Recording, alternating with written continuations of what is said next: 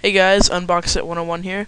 Today I have a um, video tutorial with Adobe After Effects. I'm going to show you how I made my logo. Actually, I made two logos, one for each of my accounts. Um, this is my Unbox It 101 account logo. Okay, as soon as it decides to come up. Here it is. Uh, pretty basic, and I think it looks quite nice, and if you're watching Mr. Program Reviewer, here is that logo. Okay, so I'm going to show you the basic technique of making this logo. You're going to need Video Copilot's Evolution, and if you want to get creative, you may need some other Video Copilot stuff.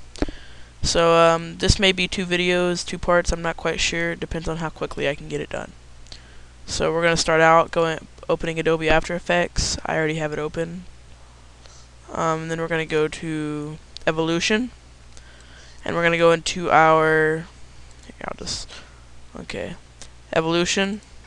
We're going to go into our Textures. Grayscale. And for the Unbox It 101 logo, I chose number 14. So just going ahead and bring that over. Drag it to the timeline. And you'll see what it looks like here. Um, you may not want it that big. I don't. So I'm going to scale that down. Okay. So, um, now that we have that, we're going to do a little effect on it we're gonna make it um, the we're gonna change the contrast on it so it's mainly black and white so click on it go to effect color correction and brightness and contrast now just mess with these until you get a black and white picture that's not the way we want to go okay uh, a little more white less wow okay I've never had trouble with this before there we go. So that's what we want, black and white. Um, leave it at that. Now you're going to make a new solid. Make that a black comp size solid. Um, now this is where we're going to make the color that we want the back texture to be. So we're going to go to Effect, Generate uh, Ramp. And I'm just going to pick like a reddish kind of say I want to do it like a dark red orange type thing, I don't know. Whatever your color preference is, is what you're going to do. So say that's what we want. We're going to take this and we're going to lay it under that texture. For the textures mode, we're going to click overlay. And that'll give us that effect of the color right there, so that's pretty nice. Um, you can mess with the brightness and contrast to make it more or less a certain color. So that's pretty cool. Um, say we want it like that. I don't know what you want it.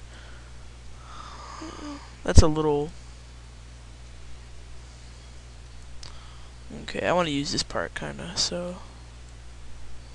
There we go. Now, um, for the title plate, I just made a black solid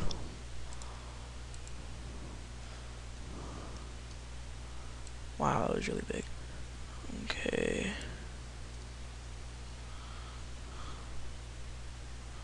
We're to make this much smaller. Okay. So here we go, we just make these big as small or whatever as we want. I'm going to take the rotation tool and rotate this a little bit. That's kind of how I did it before. Um,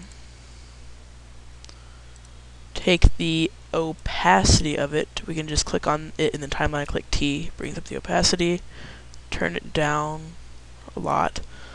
And another thing we did, I just to give it another little effect, went on ahead and duplicated it, and I kind of overlaid one of them. So to duplicate, it's going to be Control D, and we take one of these and we lay it, you know, kind of below or over, and we're going to write our text right there.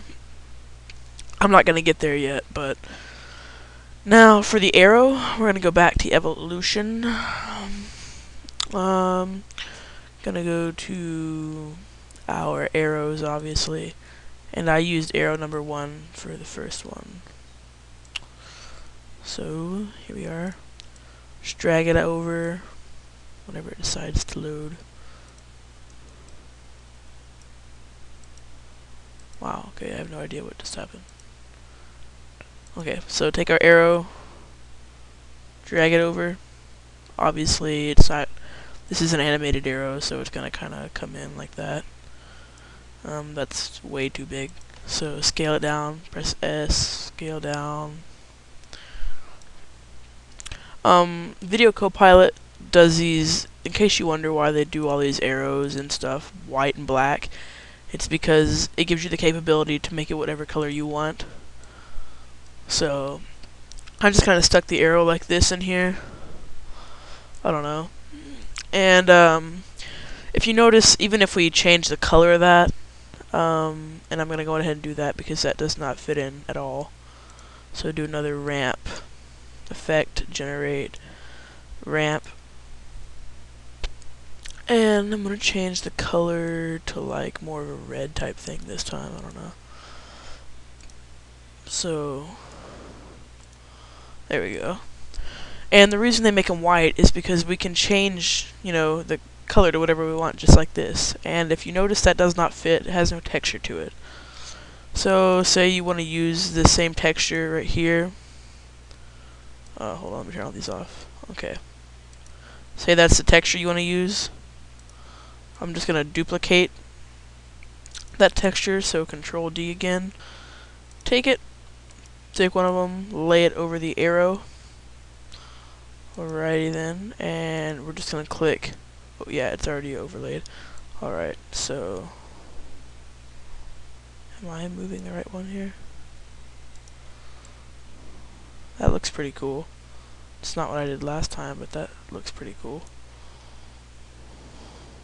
Oh, you know what I'm forgetting to do? Okay, you gotta click Luma Matte on this one. So that way it only goes over the arrow. You see what I'm doing here? So it gives it that cool texture without messing up the whole picture. Alright, so there we go, we have that. I don't really like the placement of that other texture though. It kinda doesn't really fit. Okay, say that's where we want it. I don't care. Shoot. And then you, obviously, for the text, that's pretty self-explanatory. You just get the text tool, add some text, whatever. Okay. Change the color around, change the font around over here. Yeah. Okay, so I don't have time to show you a detailed thing about the text, but uh, so now I'm going to show you, in case you didn't notice, there was a little kind of back effect. I'm going to go back to evolution, and we're going to uh, use the arrow. I tried to make this an evolution only project, that way if you only have evolution then it would be pretty easy for you. I use flourish number one. Alright, we're going to take that flourish, we're just going to stick it over, or actually, okay, obviously we're going to need to scale that down quite a bit.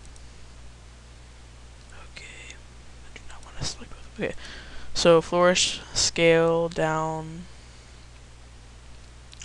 and I accidentally moved an arrow in there. Okay.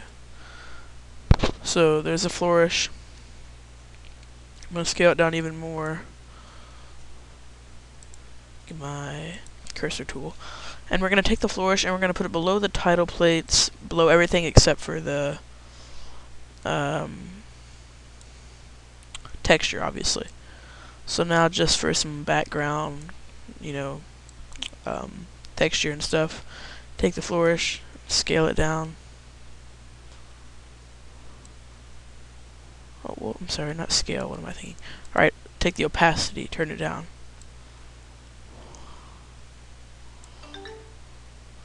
So, that's my friend wanting to talk. But, here it is. That's the basic effect of this. I mean, you can get fancy and do whatever you want, but just in case you're wondering how I made that logo, that's how I did it.